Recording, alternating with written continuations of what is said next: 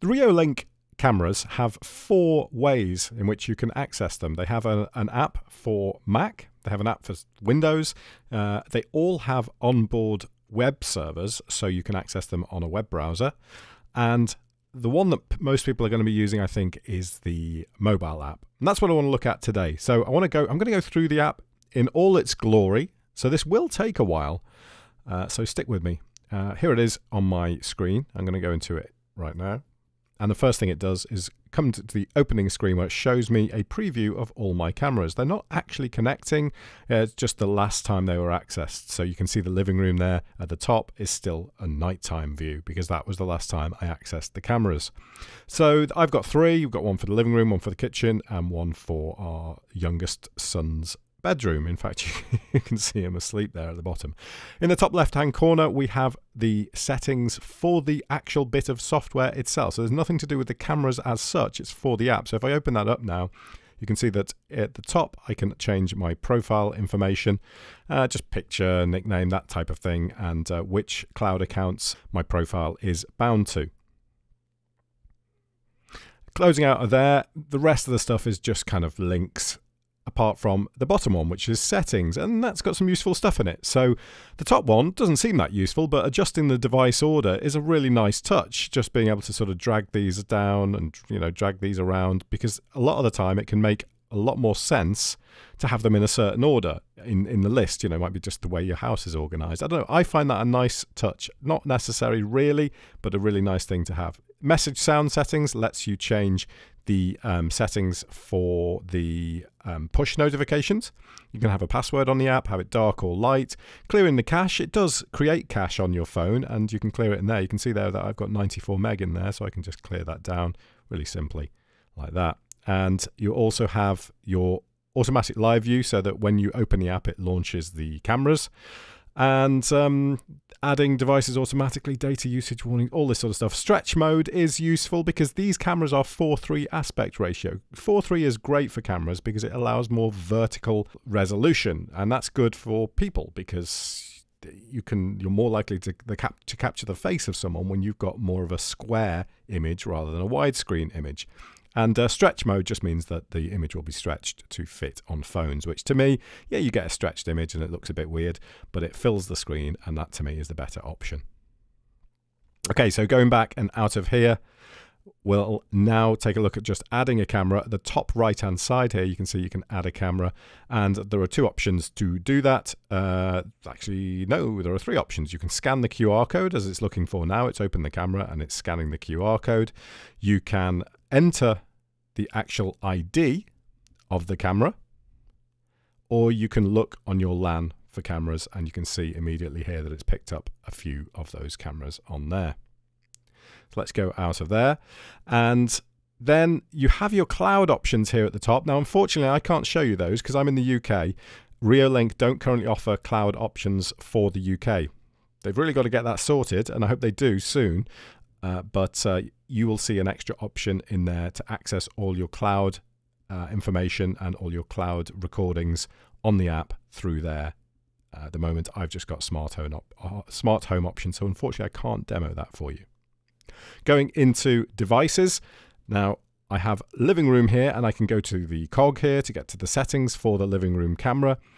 And at the top, you can see clearly how much space is left on the SD card. Of course, mine is just purging as it's going along, so it constant is basically constantly full. It's a 128 gigabit, uh, sorry, 128 gigabyte SD card that's in there, micro SD card, and it's just running through, and it keeps about seven days at the current settings. You can see the network information if I go into that there. You can see the different networks it's found nearby and which one it's connected to. Signal strength on there, I, in my opinion, is a little bit underestimated. It connects to stuff even when there's virtually no signal, which you know your phone probably wouldn't. So it's a little bit of a, a, a low um, signal meter, and you can have it that low. So like now you'd think, oh, that's not so good, but it's absolutely fine. That kind of signal is no problem for this camera. Let's go into the display options. You can rotate the screen, so if you mount the camera upside down, changing the quality options here, you have two types of um, stream on this camera. You have a clear stream and you have a fluent stream. The clear stream here, you can edit the resolution Uh, max is 2560 by 1920, which is what this is set to at the moment. Frame rate maxes out at 20 frames a second. I have mine to set to uh, 15. And max bit rate, if I go into one of these options, you can see that more clearly. So there's our maximum resolution. Frame rate, if I just move up slightly, default is 15, but you can go up to 20 if you want. Probably not necessary for CCTV. Max bit rate actually maxes out at 4096 um, kilobits, but that's quite a lot. Um, you might want that for to be sure of clear stuff when there's motion. But um, I think 4096 is quite a lot because you have to remember that every time you view that camera through your local network or 4G or 5G, you are streaming that much data if you're going to view the high image. Now, of course, you can just view the low quality image, i.e. the fluent one, and that's a 640 by 480 stream at 15 frames per second. But let's see, there are other options on that as well. You can only do that resolution, and it does a default of 7, which to me is ridiculously low. So I'd put that up to 15, and the uh, the kilobits per second, the bit rate rather, is uh, I've got mine set to 256. Default is down at 160. So that's really nice and efficient as far as data goes. So that's the quality setting there. Anti-flicker, region 60 hertz or 50 hertz day and night well that's going to switch automatically you've got the cap the position of the text on the screen and whether you have the Reolink watermark. And then you've got some other options down at the bottom here. You can adjust the exposure of the camera and there's a backlight option as well, which I can't show you too well now because of uh, the fact that it's a sort of pretty well lit camera there. But if I go into it anyway, I'll turn it on.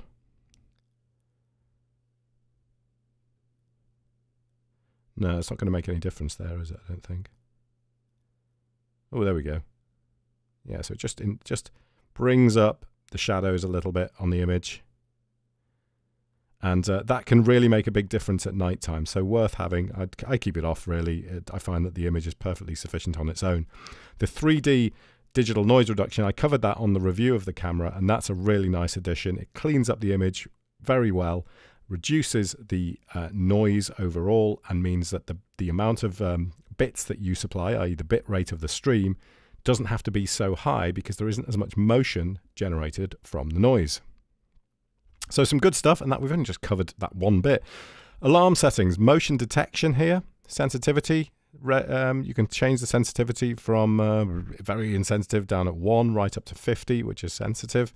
And you can have a sensitivity schedule as well, so you can adjust different times of the day for different sensitivities uh, so you could reduce it in the day and increase it at night or vice versa. Because so, sometimes cameras can be a bit more sensitive at night. They, they detect motion more easily because of noise in the image and things. So you can reduce that sensitivity at nighttime. And you can do that. You can add multiple schedules, by the way, That's, even though it's only showing one at the moment. Motion zones. Well, here's the camera, and that's the last image it took there. And on the phone, if you don't want to receive, let's say I don't not bothered about the sofa or something like that, then I can just color over the sofa and say I don't want to detect any motion on there, but I do, oh, say the door or whatever, but I do want to leave the windows in. So I can just rub all that stuff out and that won't detect motion in that area. It's pretty good resolution motion areas. So uh, that's, yeah, nice, nice little uh, feature that. And let's cancel out of there. And Push notifications, that is, of course, kind of email and messages when you get motion on the camera. Email alerts can be set up through here. I haven't got that set up at the moment, but um, of course, that's just to send an email to your account. The siren option is an alarm on the camera when motion's detected to obviously put someone off if they are on your premises or something like that. They'll hear a noise through the camera itself. You can share the camera with other people. So if they have the app installed, rather than having to add it through the accessing your network and all that type of stuff, you can just give them that QR code and they can just easily add the camera. Then we have advanced sections around audio. Tons of stuff you can do in here as well. You can add different users to access this. So at the moment, on I have myself, but I also have my partner as well. So Kate has a uh, user profile, so she can't access all the stuff to kind of change all the settings, but she can see the cameras and she can, uh, you know, see what's going on. Uh, so there are two accounts really, just an admin account and a user account.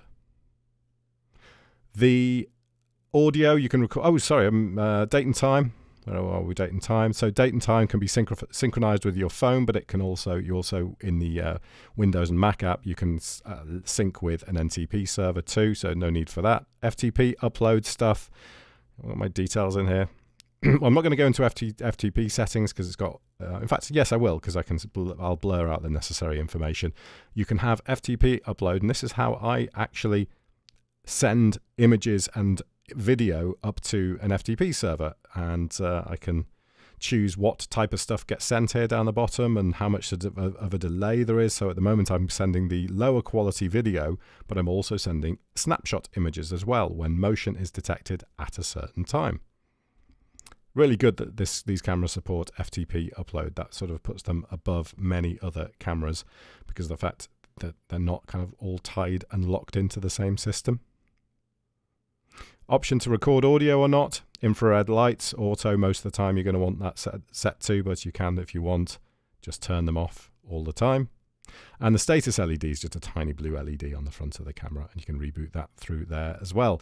So there we go. There, they are the options, the main options in settings. I'm going to go into the camera now, and you can see that, well, that's what's happening in our living room right now not much really.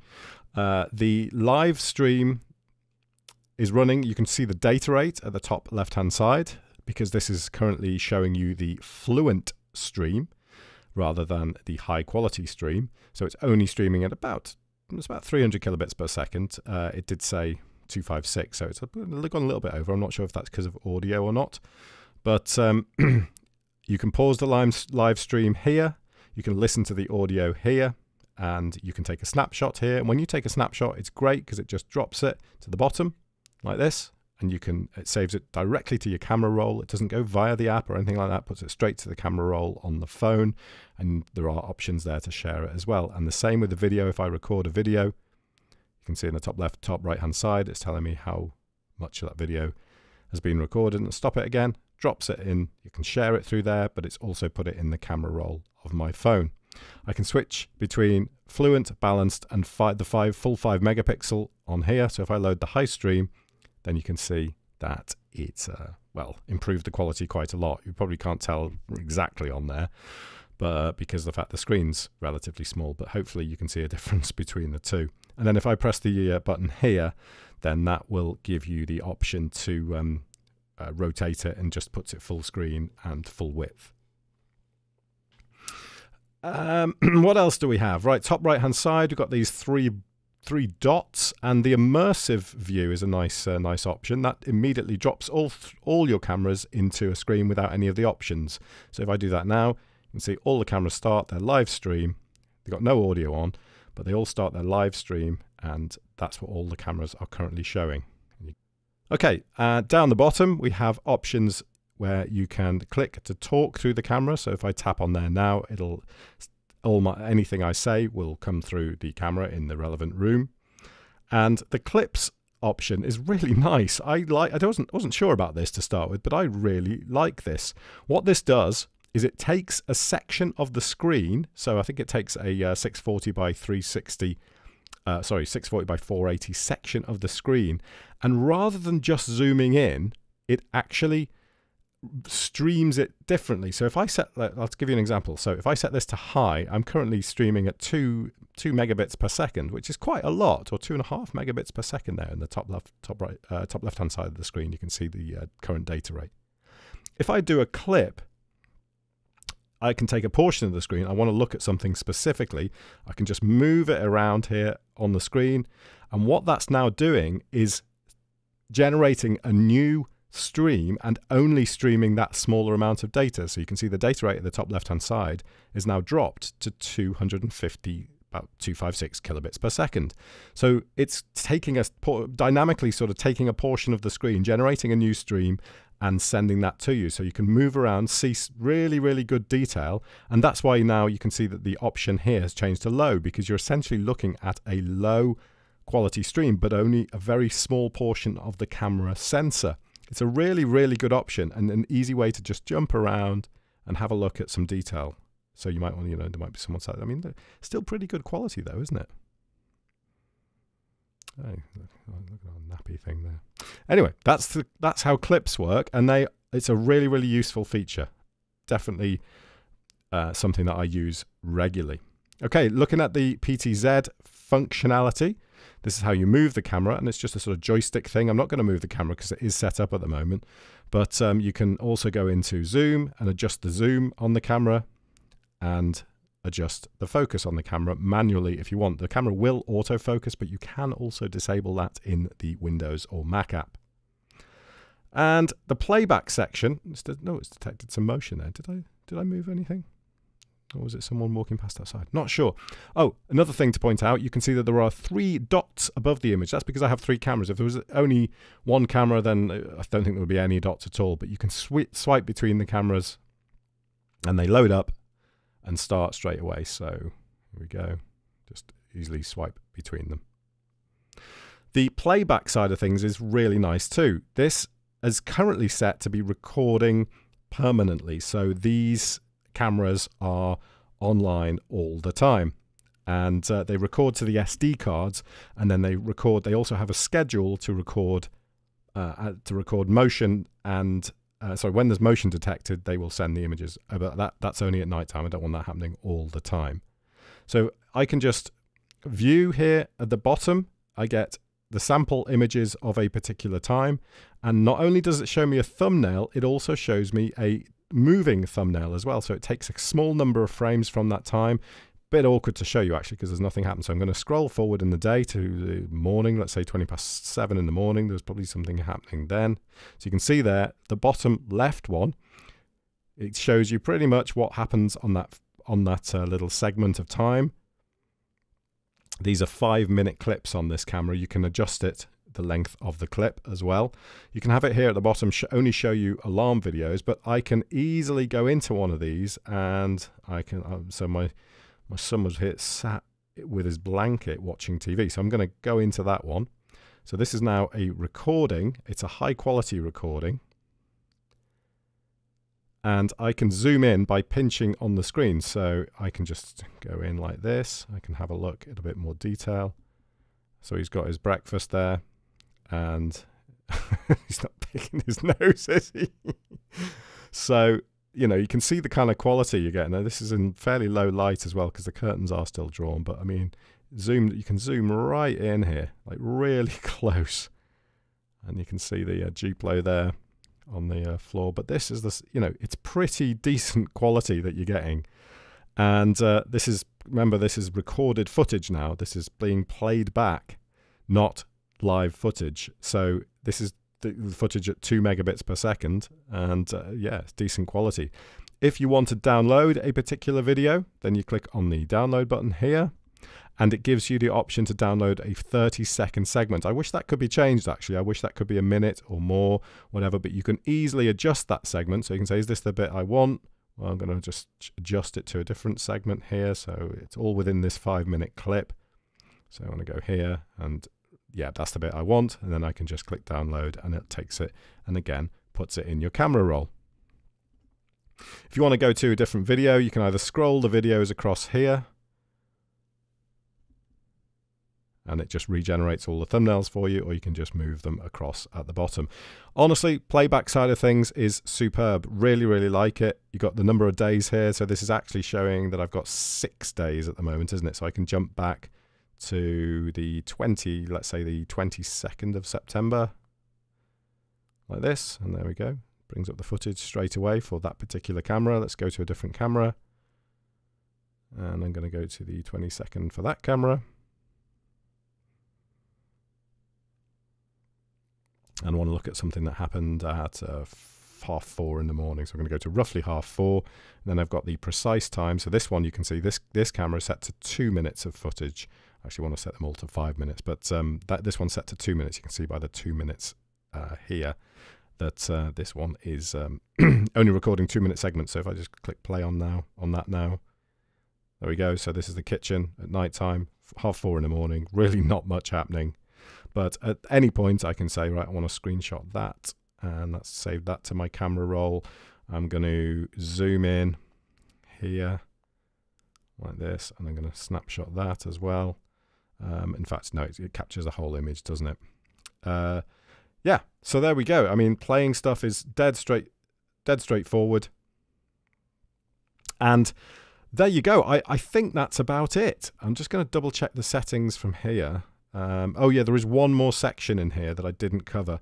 If you go into the actual camera itself, it gives you information about the camera. You can go into your storage, find out how much you've got left, format your storage, your network information, stuff like this. All that kind of technical stuff and detail about the camera is in the uh, top section there where the camera is listed. So I think this is a really superb mobile app for a camera, way better than any uh, from competing brands. I would say at this uh, this price point. Um, I'm sure the apps for kind of your more expensive cameras are really really great too. But honestly, this app is reliable. It uh, doesn't crash on the phone. It does use a lot of battery when you're in it, but it's also doing a fair amount as well. So I absolutely love it. Hope this overview has been helpful for you. If you are thinking about buying the cameras, I'll put links in the, the uh, description. But um, yeah, I hope you found this uh, useful uh, in knowing how you know how this uh, whole how the whole mobile app works and stuff. But uh, got any questions on it, what, what, it can and can't do, do let me know in the uh, comments, and I will speak to you soon.